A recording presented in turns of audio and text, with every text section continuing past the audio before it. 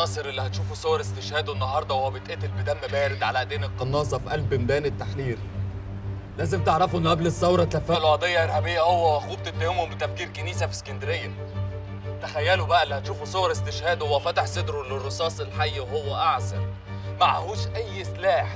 ده متهم هو وأخوه إن هم إرهابيين في غاية الشراسة لدرجة إن هم فجروا كنيسة. اللي لفق لهم القضية دي ضابط حقير في أمن الدولة فرع اسكندرية في قسم الجماعات الإسلامية اسمه هيثم خليل. ملفه أسود وقذر وياما وقع تحت إيده ناس اتعذبت واتقتلت. أنا بقول اسمه على الملأ علشان خلاص. الناس دي ما عادش ليهم حصانة لأن البلد دي دفعت ثمن حريتها غالي قوي من دم ولادها اللي زي احمد ومش بعيد بكرة تلاقيهم مطلعين كلابهم في كل وسائل الإعلام. يقول لك أهو أدي واحد من اللي بيقولوا عليهم شهداء طلع إرهابي هو وأخوه. أنا بس عايز الناس تفكر وتسأل. هو في إرهابي ويفجر كنيسة كمان.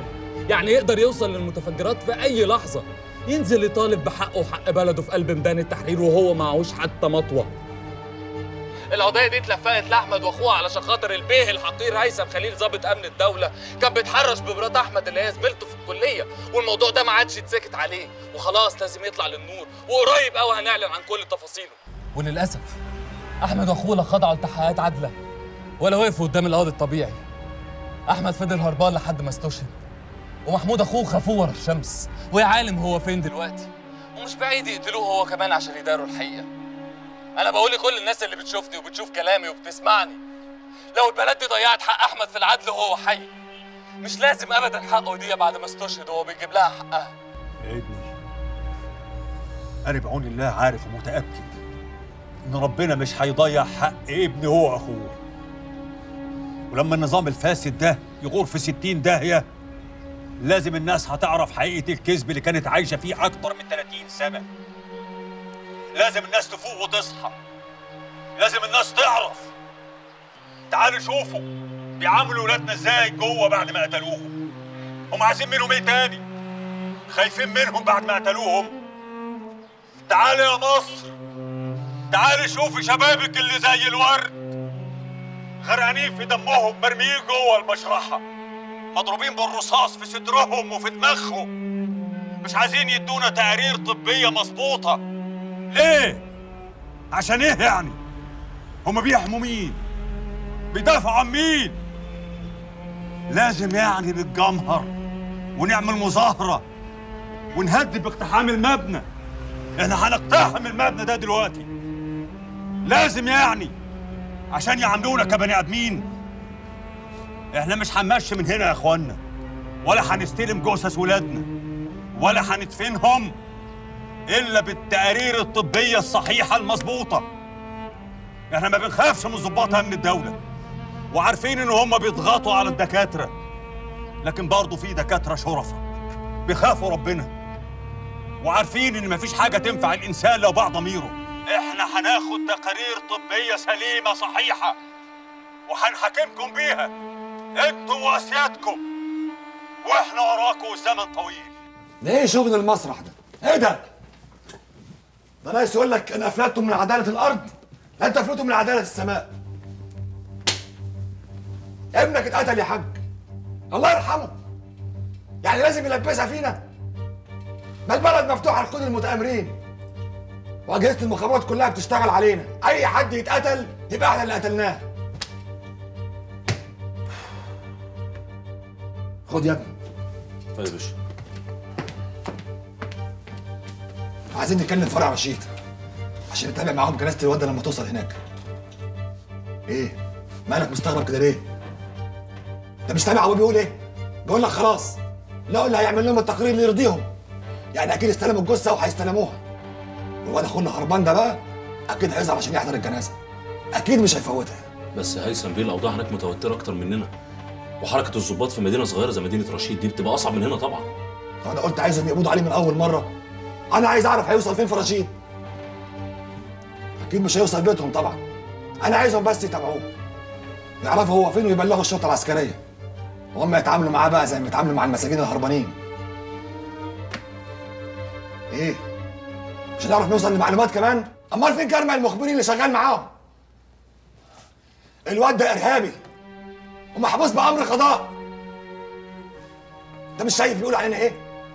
بيشنقوا علينا ويقولوا كلام رخيص. إيه؟ هنسكت لهم؟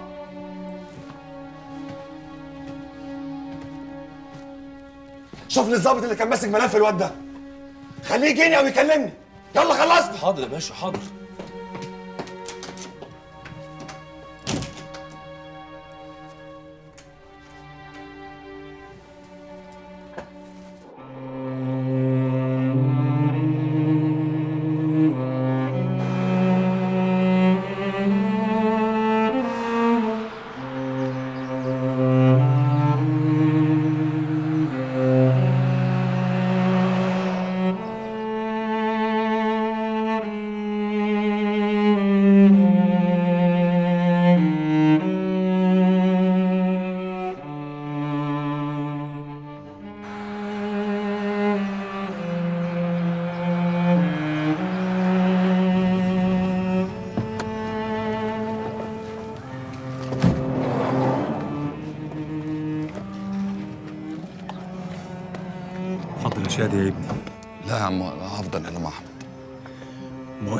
نطلعه فوق لحد ما يجي ميعاد صلاة الظهر. وأنا لازم أطلع دلوقتي عشان أمهد عند والدته. الله يكون في عونك يا عم. معلش خلينا هنا توكلت على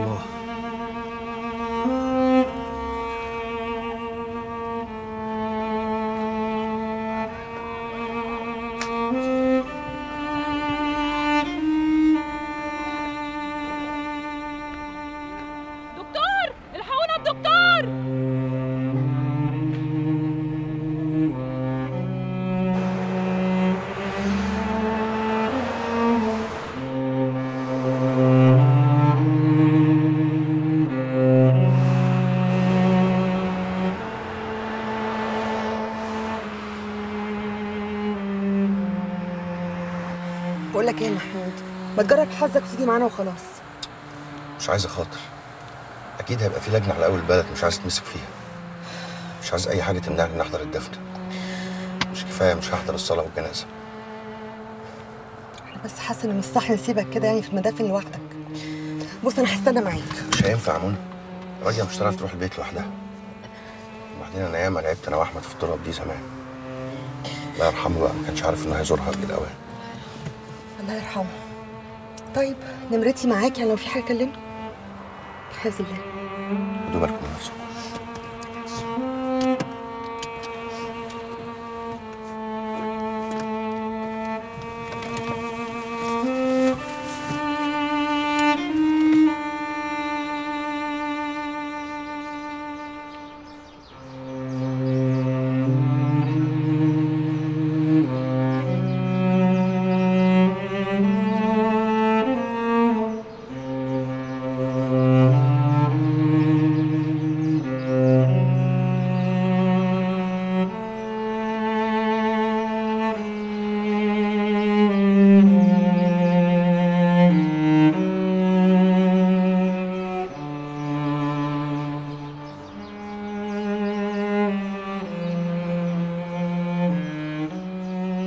هات الطيارة بقى. انت قلت خمس دقايق بس.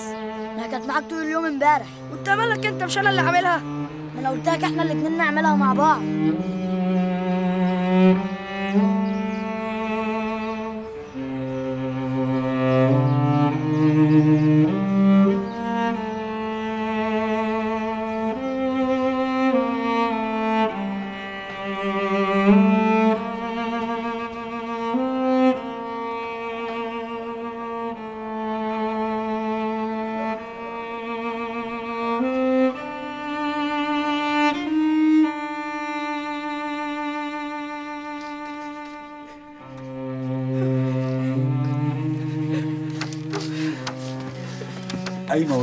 بس. إيه يا عبد الناصر؟ إيه؟ ده اسمه كلام بردك؟ بلاش أبص على ابني قبل ما يزفوه. هو في زف من غير أم العريس. صحتك صحتك يا فاطمة. مش هتستحملي يا حبيبتي. إحنا ما صدقنا الحقنة فوقتك. حقنة إيه وزفت إيه؟ عيب الكلام ده يا عبد الناصر. عيب. ده انت عارف ان أنا جامدة قوي. انت عارف كده كويس. وياما استحملتك. انت وعيالك. وما نخدش ابدا. هي الخضة. الخضة بس اللي كانت بتتعبني إنما خلاص أنا دلوقتي مش مخضوضة. أنا عرفت. عرفت اللي حصل. عرفت اللي حصل. وحامدة وشاكرة وراضية يا رب. وعلى راسي من فوق يا رب. وعلى راسي من فوق يا رب. أنا ست مؤمنة. وعارفة عارفة إن كلنا آخرتنا الموت. يا رب. إيه؟ إيه؟ بتبصوا لي كده ليه؟ ده هي بنت انت وهي بتعيطوا ليه؟ هو الحزن بالعياط؟ وحتى لو بالعياط هو في عياط. هيعوض أحمد ابني. تستعجلوش. ما تستعجلوش على العياط. إحنا مش هنحس بالفراق دلوقتي. لسه ما تستعجلوش. هو فين ابني عبد الناصر؟ فين؟ عايزة ابص على ابني. أحمد يا حبيبي جاية لك يا عين أمك جاية لك يا حبيبي. يا حبيبي يا أحمد جاية لك يا حبيبي. أهو أنا ما بعيطش أهو. أنا جاية لك يا أحمد. أنا جاية لك يا حبيبي جاية لك يا عين أمك. جاية لك جاية لك يا أحمد. جاية لك يا عريس. الحمد لله يا رب. الحمد لله يا رب. قويني يا رب. يا حبيبي يا ابني. الرحمن الرحيم. محدش يجي معايا؟ محدش يجي معايا. هشوف ابني لوحدي سيبوني سيبوني. سيبوني. سيبوني. لوحدي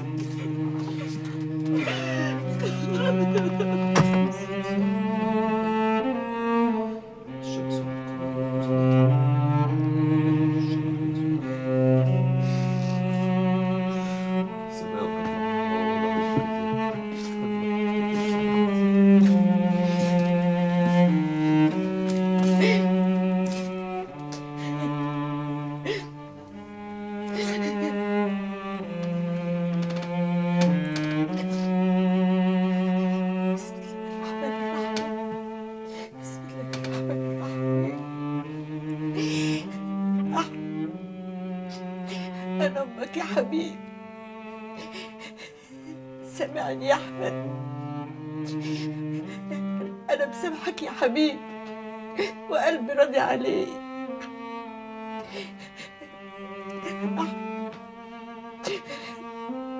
أنا أمك يا حبيبي أمك يلن عين أمك.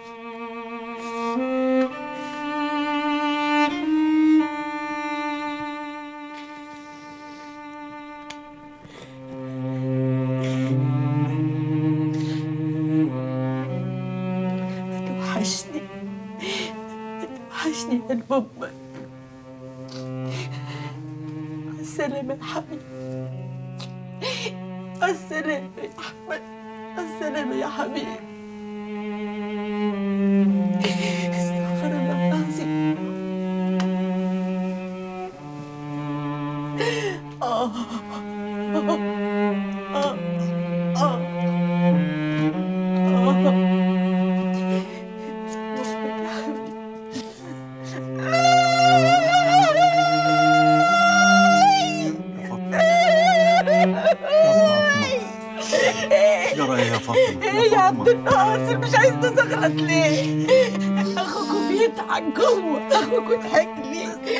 الله اكبر عليك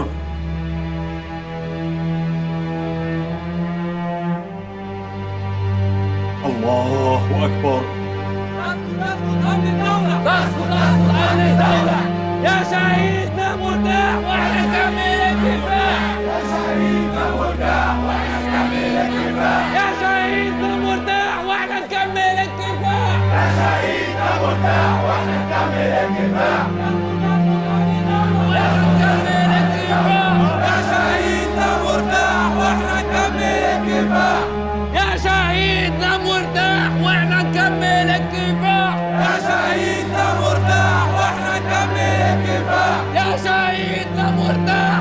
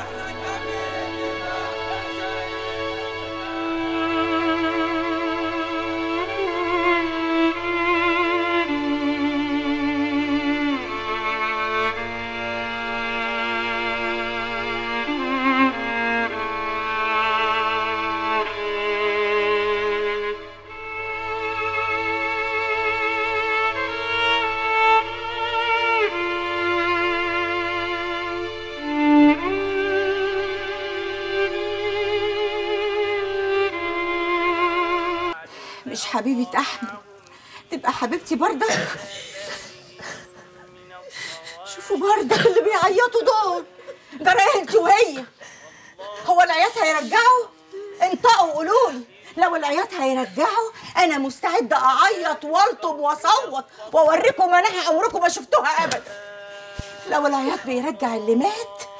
أنا كنت أعيط بقية عمري كله. ما كانش حد غلب. لو العياط هيرجع لي أحمد؟ ده أنا ما بطلش عياط ابدا. يا فاطمة. العياط يرجعك يا أحمد. قومي تعالي ريحي جوه شوية. حتى أنت يا عبد الناصر عايز تاخدني على قد عقلي؟ هي الراحة هترجع لي أحمد ابني؟ لي قول لي لو هترجعه أخش جوه أرتاح بقيه عمري لا إله إلا الله محمد رسول الله. يا فاطمة حرام عليكي نفسك. قول لي لو عايز تريحني قول لي ابني اتقتل ليه؟ ها؟ وهات لي حقه. قول لي هو واخوه اتظلموا ليه؟ واشمعنى هم دول عن غيرهم؟ قول لي. مش ولادك بس اللي اتظلموا يا فاطمة دي بلد بحالها. شعب بحاله بقاله سنين بيتظلم ومش ابنك بس اللي ضحى. في غيره ألفات قدموا أرواحهم النهاردة وامبارح والسنة دي والسنة اللي فاتت واللي قبلها واللي قبلها. شعب بقاله سنين بينزف. ابنك كان ممكن يموت غريق وهو بيعدي البحر هربان من بلده زي أصحاب أخوه. كان ممكن يموت محروق في قطر ولا حتى في مسرح. كان ممكن تتقلب بيه عربية بوجو في طريق خربانه كان ممكن يصيبه مرض زي اللي صايب الناس كلها. لكن ابنك مات شهيد بيدافع عن بلده. وحقه هيجي. والله حقه هيجي. ومين اللي هيجيب لي حق ابني؟ الحكومة اللي قتلته ولا الناس اللي فيها هم مكفيها وفايض؟ أنا اللي هرجع حقه يا. وأنت؟ مين اللي هياخد لك حقك يا ابني؟ ما هم قتلوك قبل ما يقتلوك. قتلوا مستقبلك. ضيعوك قبل ما يضيعوا أحمد. وضيعوا أبوك قبل ما يضيعوكوا أنتوا الاتنين. ومش هيبطلوا. مش هيرحموا أي حد يقف قصادهم. مش أنا اللي كنت بقف قصادك لما بتقولي أنا عايزة أسافر وأسيب البلد دي؟ ياما دلوقتي بقى لا. أنا اللي بقولك لازم تنفد بجلدك من البلد. أنا اللي بإيديا هديك الباسبورت بتاعك. ما كنتش هخبيه منك ولا هحوشه عنك ابدا. أنا اللي بقولك دلوقتي يا محمود يا ابني لازم تسيب البلد دي خاف على نفسك منها. دي بلد بتحب عيالها مقتولين. لا يا أما خلاص. مفيش هروب تاني. الكلام ده كان زمان. قبل ما أحمد واللي زيه ما يصحوا الناس من نومهم عشان يرجعوا بلدهم تاني. والناس ضمت عليهم ياما. ما سابتهمش لوحدهم ومحدش فيهم هيسيب دم أحمد واللي اتقتلوا زيه يروح حاضر. عشان دي آخر فرصة للبلد دي إنها تبقى بجد. وإنها تحب عيالها عايشين. مش مقتولين ياما أنا هقطع الباسبور. ولغاية ما أرجع حقي وحق أحمد. أنا مش هعيش غير في البلد دي. يا فوق ترابها يا تحتيه مش مهم. المهم إن مفيش هروب تاني. مش همسك العصاية من نص تاني. مش همشي لا جنب الحيطة ولا جوه الحيطة. عشان مش هيبقى في حيطة من هنا ورايح. السلام عليكم ورحمة الله وبركاته. إنا لله وإنا إليه راجعون. الباقي في حياتكم جميعا. وكتاب الله. أن ربنا أكرمني ووصلت بأعجوبة. وكويس إن ما جبتش العيال كانوا اتخطفوا مني ولا حاجة. ربنا يقوينا على المصيبة اللي إحنا فيها. الله يرحمك يا أحمد. بس بيقولوا كان في مندسين جوه المتظاهرين بيقتلوا فيهم. ربنا ينتقم منهم جميعا يا رب. انت جاي توسخ المكان ده يا شافع؟ يا محمود عشان خاطري يا مفتيحة كفاية يا محمود عشان خاطري. كفاية بلاش فضايع يا تحية. لسه باقي عليه؟ عشان عيالك ها؟ طب إيه رأيك ان أنا اللي هسافر بورسعيد؟ وهجيب لك عيالك منه غصب عنه. كفاية. ترجع لها فلوسها وعيالها. انت فاهم ولا لا بس خلاص. واجبك وصل اتفضل روح قبل الدنيا ما تليل ويطلع اللي يخطفك ويريحنا من خلقتك. مع السلامة. عاجبك؟ عاجبك تحية؟ أخصائي رد السجون الهرباني بيدي إيده عليا؟ ماشي يا تحية. خلي أخوي البلطجي ينفعك. بس. محمود عشان خاطري. لا. ورحمة أحمد كفاية. عشان خاطري. انزل يا شفق دلوقتي أنا جاي هروح معاك. أصيلة تحية بس. أصيلة أختي. أنا أعديها المرة دي بس عشان خاطر الحزن اللي أنتوا فيه. بس الحساب يجمع بقى يا محمود. أبوس إيدك أبوس إيدك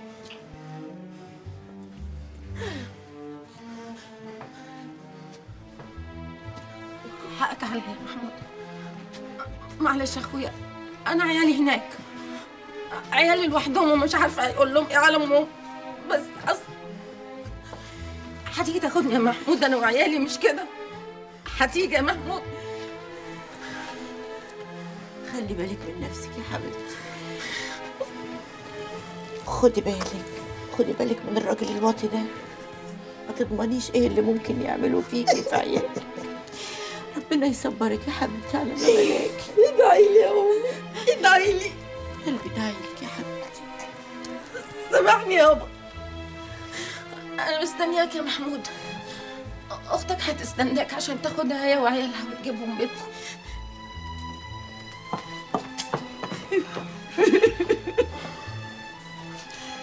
بس يا عم بس يا عم إيه؟ بتبصوا لي كده ليه؟ مستغربين؟ أيوه أنا جوز اخت تاجر مخدرات. صحيح هو حرامي صغير مش حرامي كبير. بس صدقوني البلد دي مش هتنضف إلا لو كل واحد نظف نفسه من الوساخة اللي في بيته وعيلته وجيرانه وقبلهم اللي جواه. لو كل واحد فينا نظف نفسه من الوساخة اللي في ناسه وشغله وأصحابه البلد دي هتنضف. غير كده يبقى إحنا ما عملناش حاجة. زي ما عايزين ننضف من فوق لازم ننضف من تحت.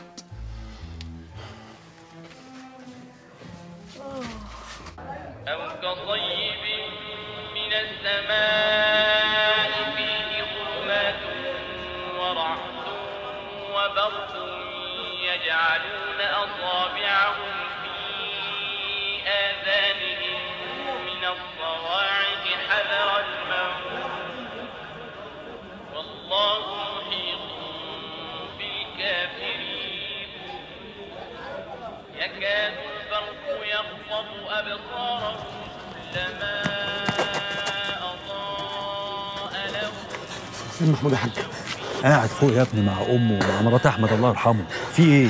في عربية شرطة عسكرية واقفة قدام الجامع الكبير بيقولوا إن جالهم بلاغ بيقول إن في مسجون من من سجن وادي النطرون هربان؟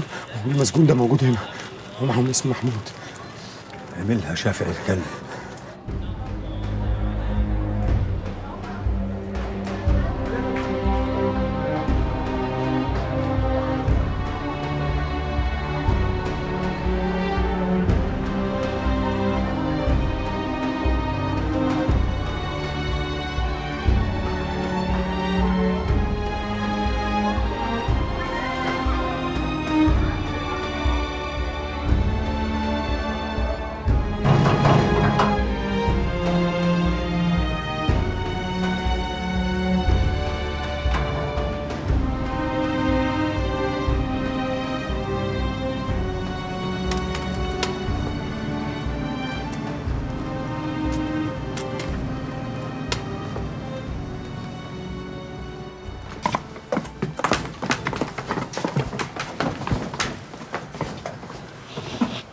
الكلب لله على السلامة يا حوده الله يسلمك يا سالم هروح بقى أنا ألحق أجيب لك ترمس شاي ولقمة تاكلها شوية بطاطين عشان ما تنشفش بالساعة.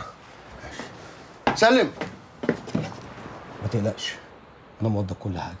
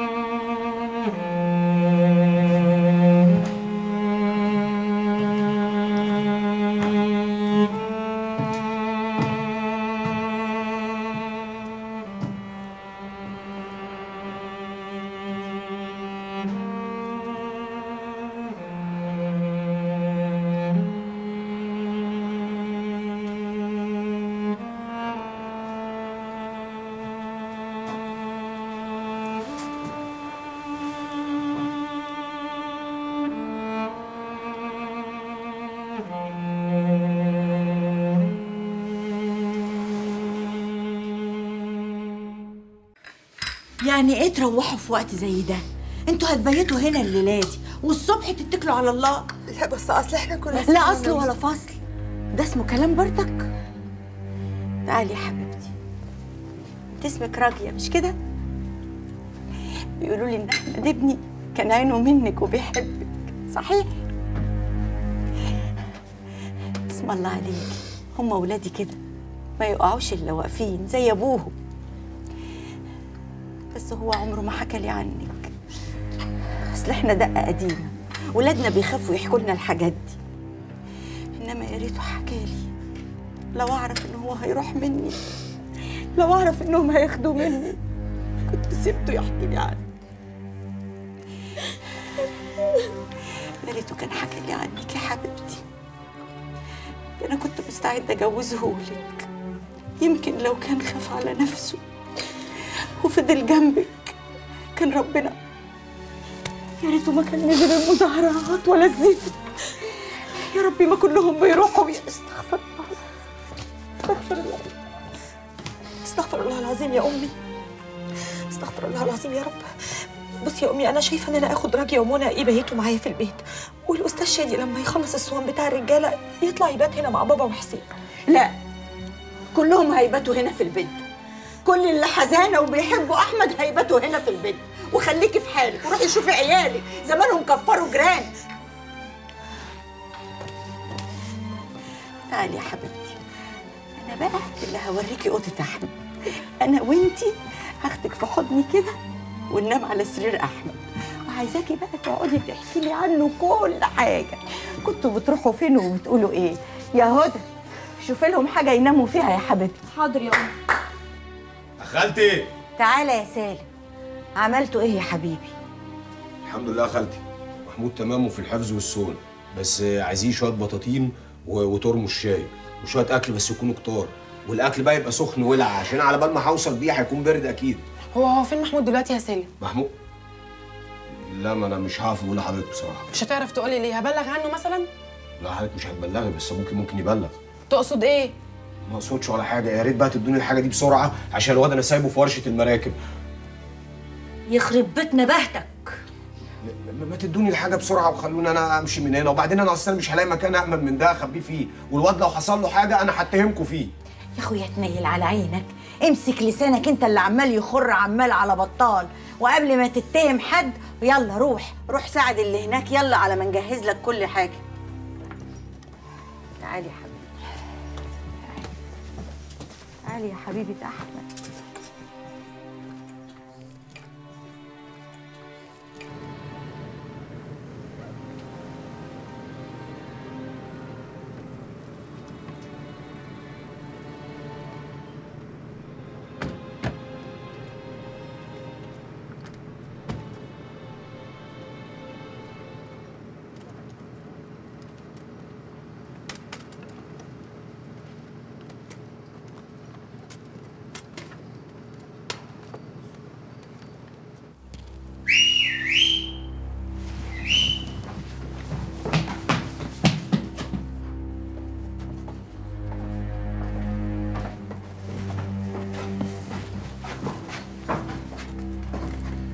إيه قالوا لي عايزينك في موضوع مهم.